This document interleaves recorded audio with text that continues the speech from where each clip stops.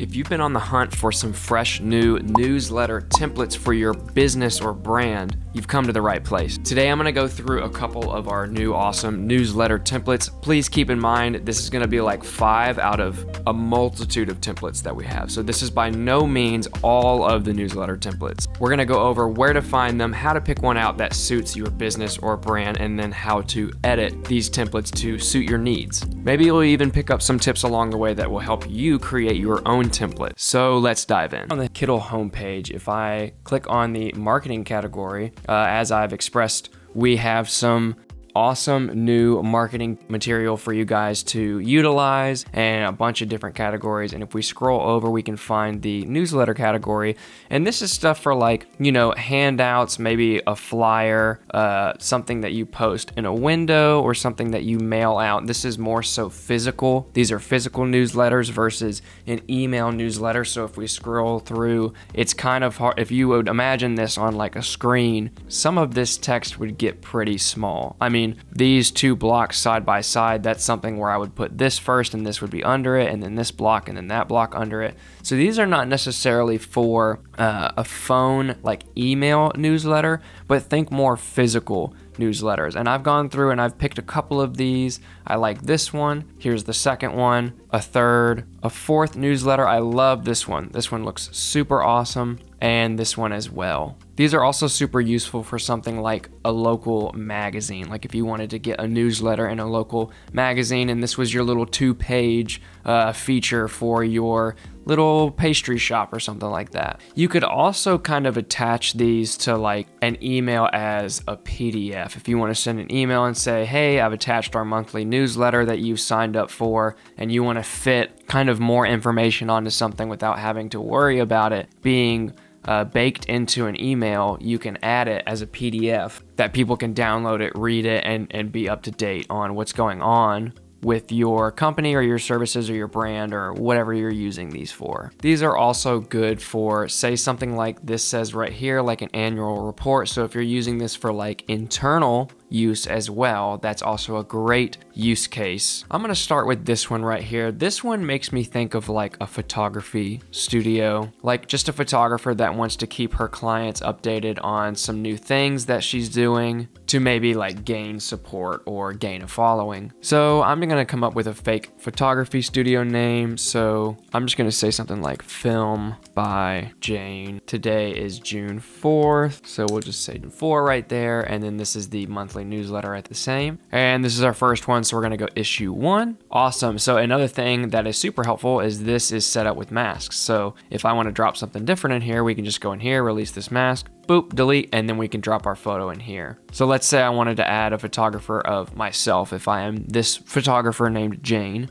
But for the purposes of this, we're just gonna find a picture of a photographer and we're gonna use this one because that looks like a film camera and fits the vibe. And we might size it up just a tad and get that right there. And then that fits our vibe for this newsletter. And we could replace this with something like, as you know, I love keeping my client up to date on the latest photography trends. In this edition, I've also included some of my favorite recent work. Boom. Header and subheader done moving forward and we could say the latest photography trend. And we could align it like that because it breaks those lines up a little bit better. And we just need some text for this. And we can just say something like in may we boasted spring in its full colors on film. Film helps capture natural colors with a softer feel than digital making sure the photos don't feel unnatural which is pretty true. And we just need to find some photos. Obviously if you were a photographer you would put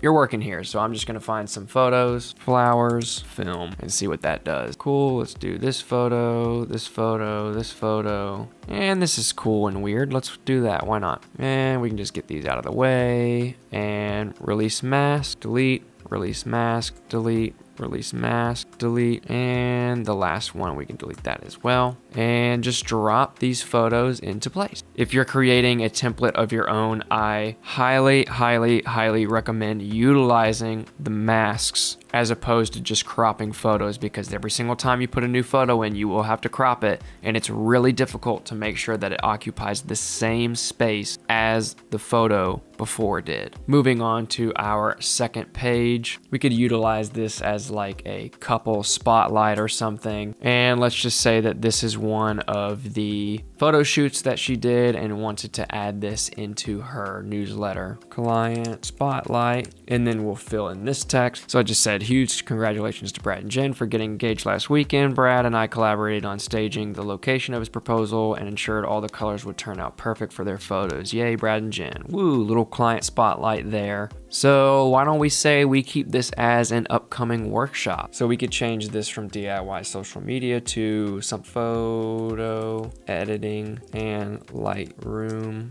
basics. We could keep this as June 17th, 2035. That's funny.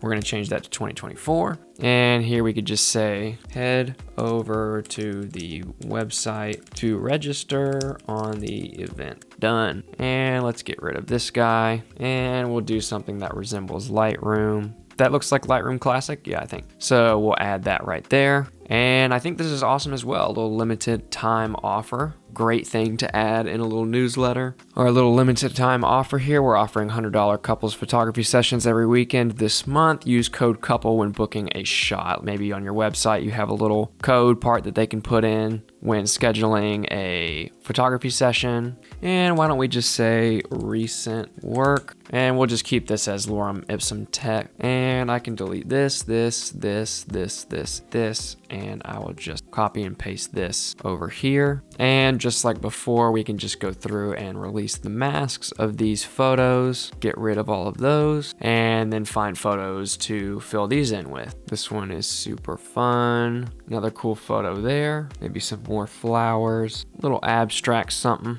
And this one is super cool for right here. And then it looks like it's got an awesome section for social media, email, and then a website right here as well that you could fill in. And just like that, I've been able to redo this template to fit my brand and create an awesome newsletter that I can use for multiple weeks and months to come. Okay, some of the other newsletter templates that I picked out as well. Let's look at, for example, this one. Like I said before, finding one with masks is extremely helpful. This one looks like another kind of maybe fashion or photography little newsletter. And if I click into here, it looks like these are grouped and I can click Command G to ungroup these. These are masks as well. So finding projects that have masks in it will help improve your workflow significantly and help make sure things are consistent uh, for each iteration of your newsletter, especially if you're not wishing to change it if you want it to be the same every single time. Just a little template that you can edit. But all of these elements are editable. I could come in here and ungroup this and change this text, change that one. Let's say I don't like that line, I get rid of that. I don't like that, I get rid of that. Make it a little bit more uh, simplistic. And then let's say since I got rid of the line over there, I can get rid of this one as well. Boop.